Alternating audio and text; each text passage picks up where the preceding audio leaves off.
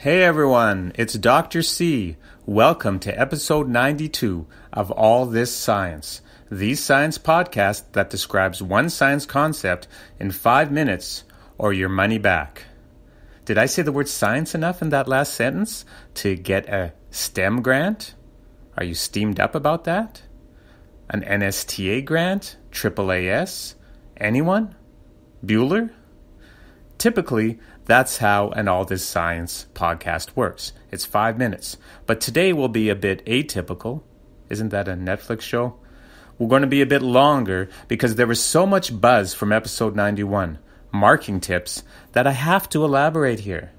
Really, I got so many mailbags full of fan letters that I had to rent a trailer for them all and attach it to my house, which is tricky since I live in a kayak.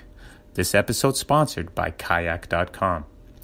I loved all the letters because I'm a philatelist. I'm a stamp collector. I collect topics like cats and bananas from Tonga and 3D stamps from Bhutan. This episode sponsored by stamps.com and the Bhutan Visitors Bureau.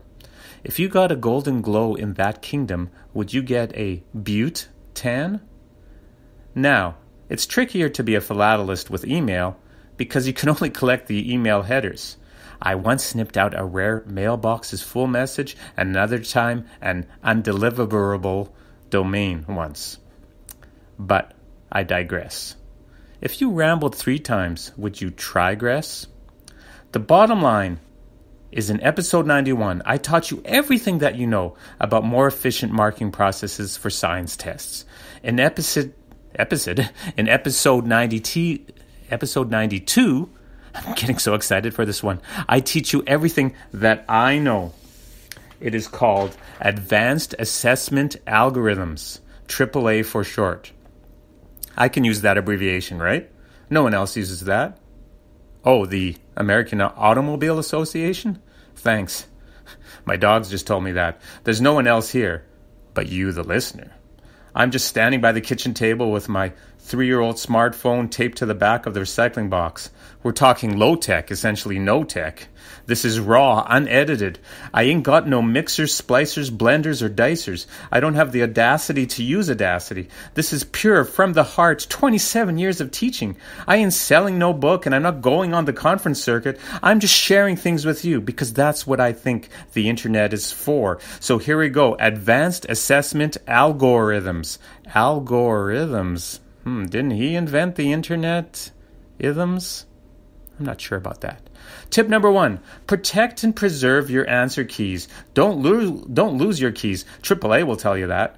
You worked hard on creating a valid test. Work hard on making a clear key. Then scan it using your school's photocopy system or some smartphone app or an etch a sketch, one of those magic pads made with cellophane I used as a kid. Give the key a good name, or else all your keys will have the name key, and you'll have more indistinguishable keys than Schneider the superintendent on one day at a time. Save your key on a USB stick. I call that a dipstick, or Google Drive, or Microsoft OneDrive, or under your mattress in a safety deposit box. That might be a bit uncomfortable. The princess and the key. Ooh, don't throw tomatoes at me now. If you're really paranoid, password protect your key file, and then password protect the file that contains all your passwords, and then rip everything to shreds. Tip number two when marking, print your key on different colored paper than the test the students get. Put your key on the left of the desk and the student stack of tests on the right. Put a chair to your left. Put the completed test on top of the chair seat. Do this every time in the same location every time. You are a marking machine. Act like one. Tip number three don't waste time alphabetizing or worse, sorting from highest to lowest mark. Since episode 91 told you to put the mark on the last page, just dump the completed stack in the middle of the classroom and yell scramble. It's no invasion of anyone's privacy. It's more like the kids earned their mark, than you gave it to them if you do the scramble method. And I'm not kidding about that. Mm-mm. Tip number four don't complain about how much marking you have to do. Nobody cares. Tip number five, as I get to it don't bring your marking home. Try to do it during your preps or right after school, at school. There's nothing more demoralizing than trying to shove a stack of test papers into your ripped up backpack and then pulling them out to mark while the rest of the family is watching America's Got Talent or playing HQ. This podcast sponsored by Simon Cowell and Scott Rogowski. Tip number six life gets in the way of even the best laid plans. Never promise that you will return the mark test to the students the very next day. If it takes two days, so be it. Don't go more than two days. The students get too anxious and aren't in the proper frame of mind to learn new stuff until they get their old stuff back. I've had kids come see me two hours after writing an ex- exam asking for their mark. Really? Don't let the kids pressure you. Be accurate, focused, but don't rush. Remember, you aren't your student's friend. You are their teacher. Mr. Finney told Mr. Feeney told Corey that in an episode of Boy Meets World. I think the same one where Topanga mixed pop rocks with Coke. Or was that Jesse from Saved by the Bell? Tip number seven. If your test has two sections, a multiple choice section and a written response section, separate the test into two booklets. Then you can more efficiently and quickly mark the written response section without having to leaf through the multiple choice pages. You might think that this is really a minor time saving, but consider 100 students, three classes per semester, two semesters, 27 years. I'd say that adds up to something like, oh, 600 megajoules of hours or something like that. Tip number eight to discourage cheating, saunter through the room during the test sashay, if you will. Have more than one version of the test. If a kid cheats, deal with it with the kid. No need to get the parents or the admin involved. How do you deal with these cases? Email me, allthisscience at gmail.com. It's a bit controversial. Tip number nine when returning a test, don't debate mistakes with students. They will try everything they can to scrounge for more marks. Students are most creative when they are trying to get more marks. Stand firm. If there's really an error, own up to it and change the mark quickly on their test paper and also on your spreadsheet.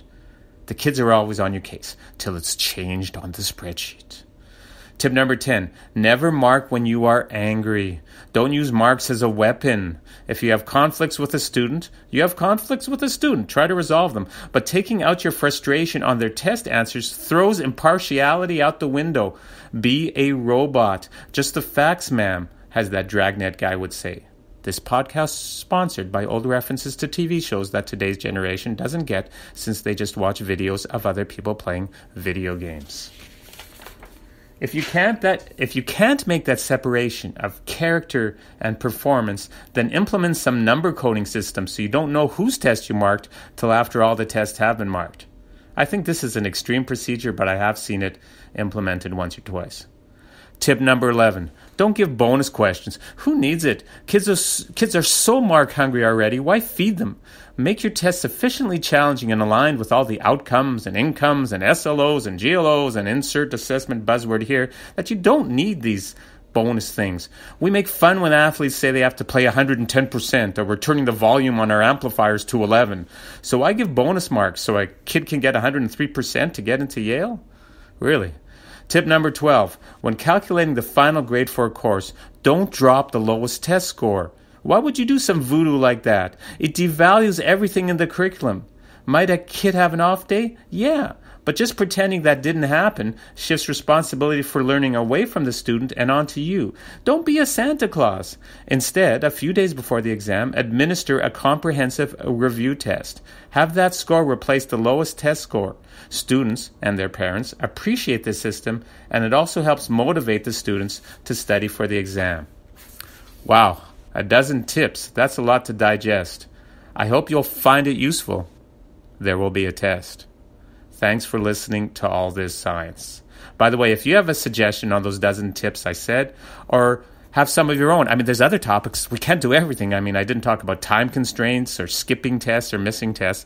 But please let me know. Send me a tweet at all this science or email me at allthisscience at gmail.com. Have a fantastic day.